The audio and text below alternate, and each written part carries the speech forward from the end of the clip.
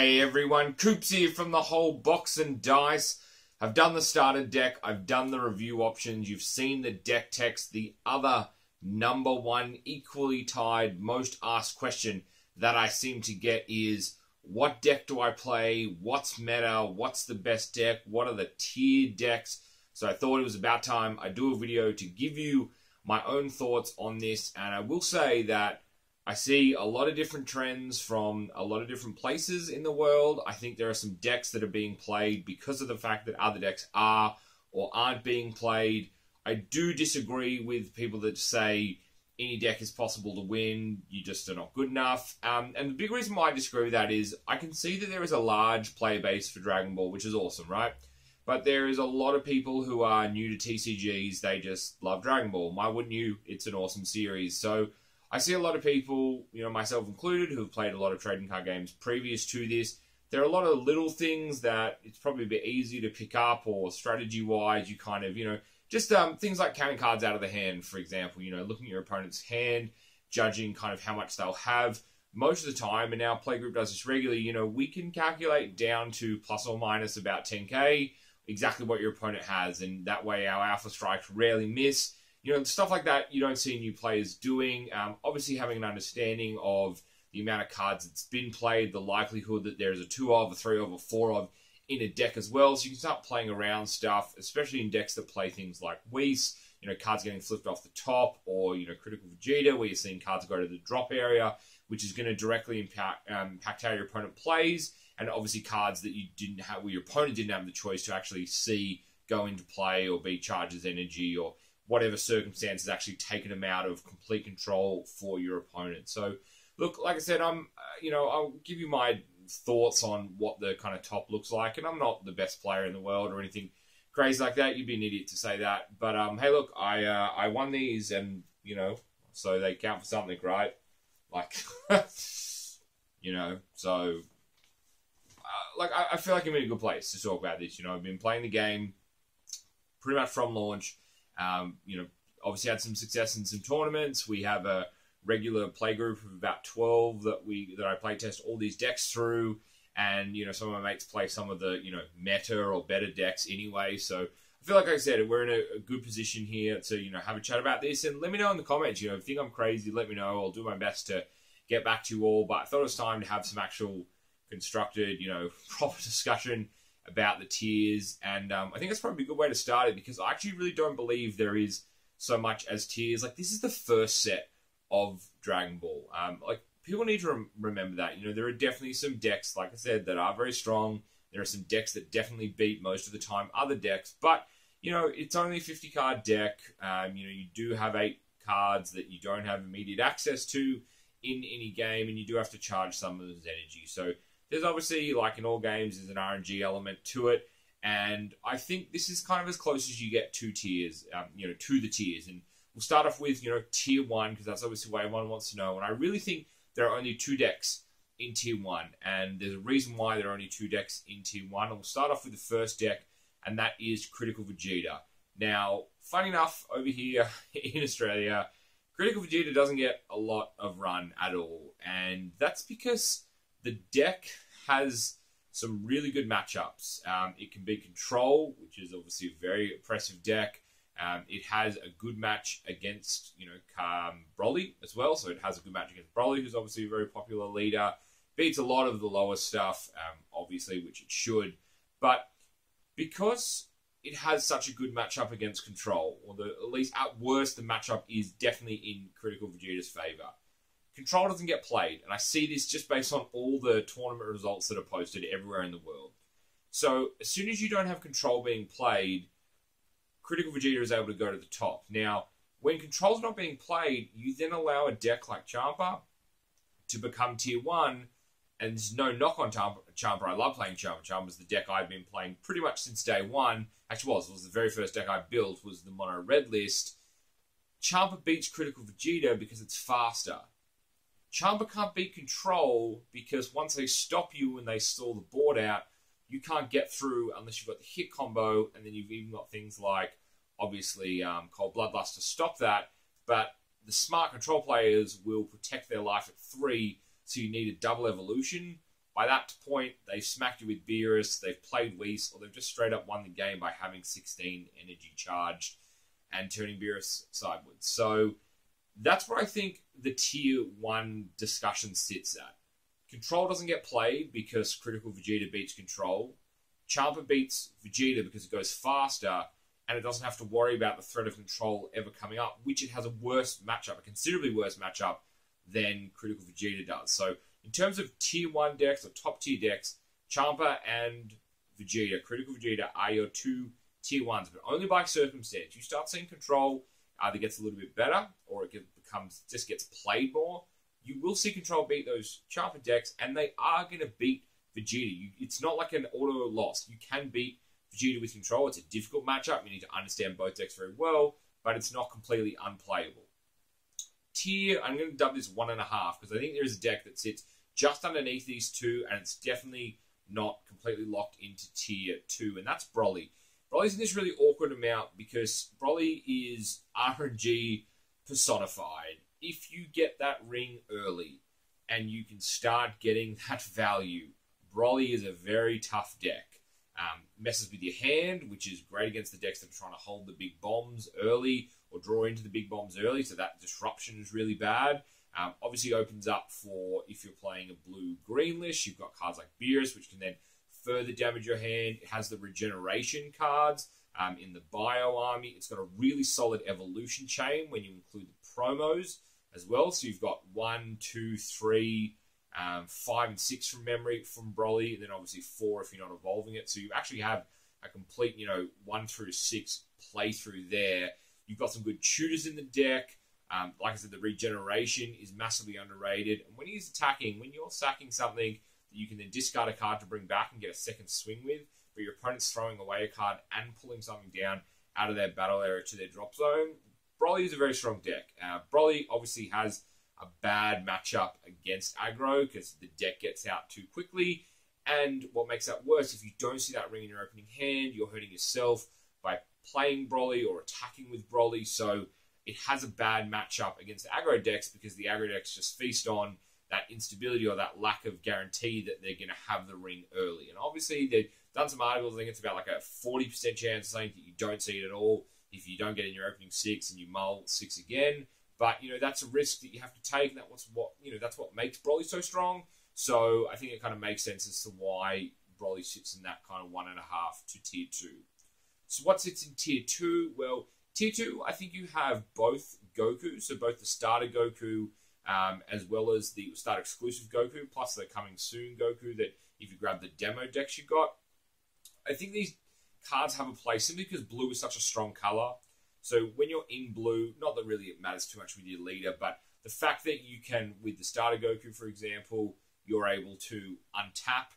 Um, that's super valuable. Um, you know, anytime, you know, with either of the Gokus, you know, anytime you can untap a battle card, or sorry, anytime you can um, untap an energy, or you can go through for a dual attack when you have a certain amount of energy. Plus, you're getting buffed by the energy you have on board. Both the Gokus have a really strong game.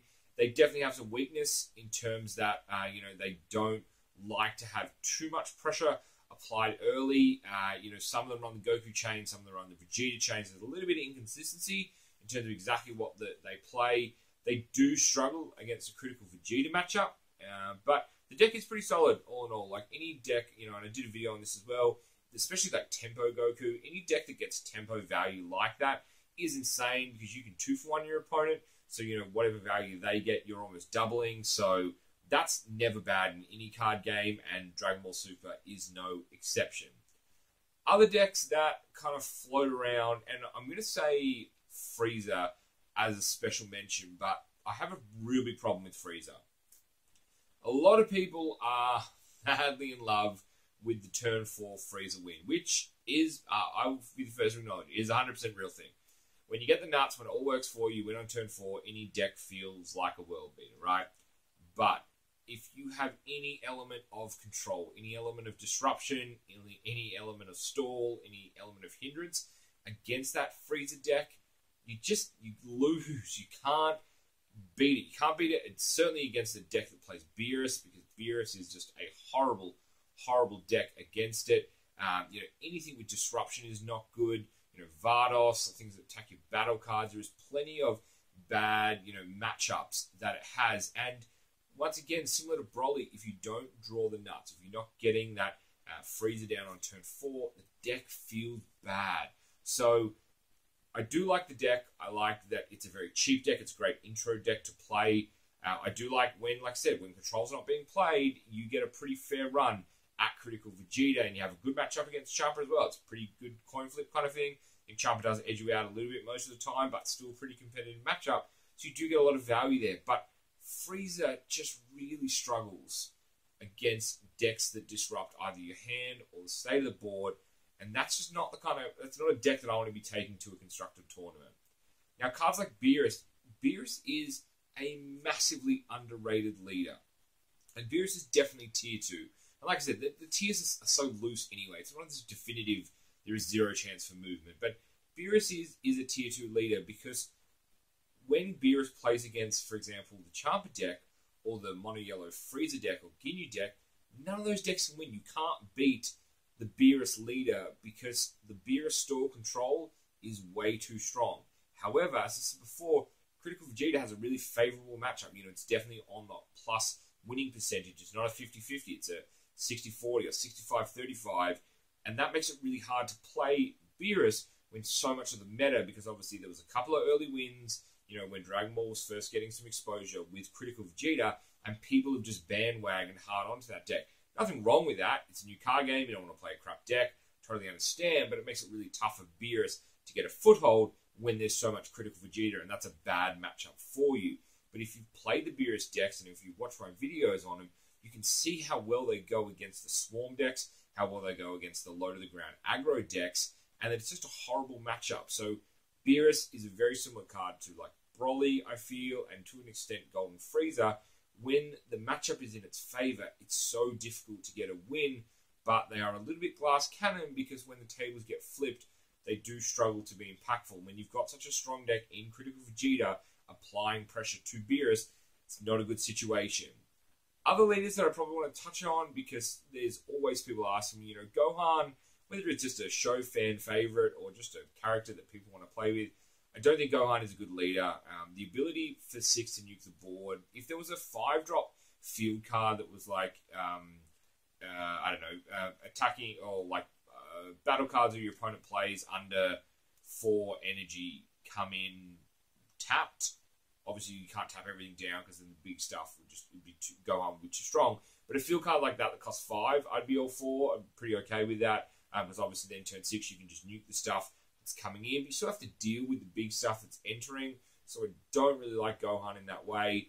Um, Hit I think is a good leader in principle, but when your flip ability is completely glass cannon and they're not playing blockers, you're losing that benefit. Yes, you get the extra 5k, but you can't get that second part of the ability. So I think Champa is just a better leader because card draw just wins out in these games. Uh, the Green Goku, yes, uh, Double Strike is nice, but it's probably not enough. Um, I still, I think there is a better deck for the Goku that has Double Strike all the time. Like, I think it is an underrated ability because it does put a lot of pressure on, but you then still need a lot of low cost cards to pump. Uh, you know, ways to make your leader do go through for more damage. So it kind of lives in a very lives in a very tricky vacuum. Uh, cards like Ginyu, for example, amazingly fun card to play, cheap deck to build. You can build it with no rares. You can build it just with the couple of Ginyus. When you get the nuts on Ginyu, the deck is pretty much unstoppable. When you're flipping stuff off your life, it's just having the best time when you don't flip the right stuff, you know, you flip a Recoome with the Racer Gun or you flip a counter card, it doesn't feel good. It's bad value. Ginyu is very fragile and he hurts himself, which opens up the door for aggro and critical Vegeta to just smack it in the face. So, Ginyu, love the card. I play Ginyu all the time because I find it really enjoyable deck, but against control, has horrible matchup, and that's just not something that you want to be a part of. And obviously, there are a couple other leaders that I that I haven't touched on, and maybe that is all of them actually now. You know, we're up to like 12 or 13 with the starter leader. But, you know, that's how I feel. That's how I feel about the leaders. And I think it is a very interesting space. This is obviously going to change massively when the next set comes out.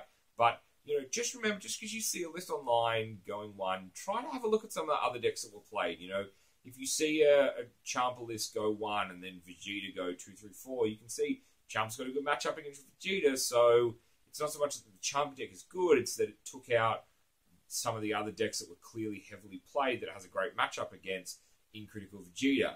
You know, if you see a Beerus list do really well, and but you don't see any other Vegeta decks, surprising, but that's probably because there wasn't many people playing Vegeta, so Beerus gets a really solid run, and the whole kind of ramp to Whis win deck, or just the quad double turn attack, is going to win out. So, you know, to have a look at some of the other decks that are being played, you know, obviously there are always going to be ways that a Gohan or a Vados or a Hit or a, you know, Frieza is going to win a tournament. It's not like they are so bad that they can't be played, but you'd be wrong to say that they are on the same power level. And people say that, just just ignore them. You know, it, it, it's no it's no knock on them as a person, but like I said, there's a massive player group for the game at the moment. Some experienced, some are not experienced. You would be absolutely insane to claim that there is one deck that is superior to everything and you can never lose a game of Dragon Ball because there is just RNG in any game. It's no different to Magic, no different to Hearthstone, Force of Will, Vanguard, Final War, you name it.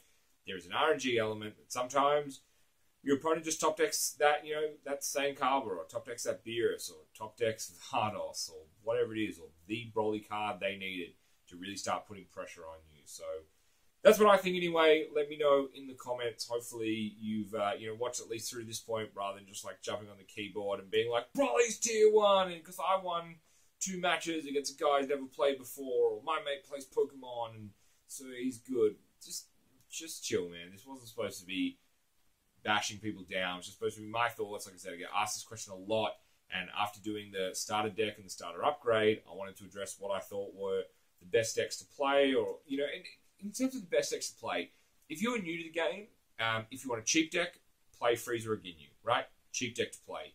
If you want a relatively simple deck to play, play mono red that really doesn't play any of the big high cost stuff. It's just free to combo, play the same carvers, beat face, combo for 90k and win.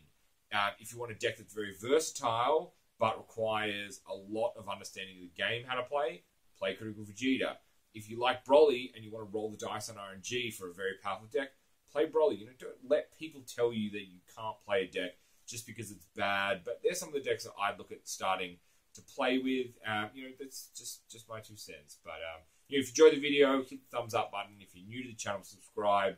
Would love to get some discussion going in the comments. Let me know what you think. I've been Coops. This is the whole box and dice. Peace.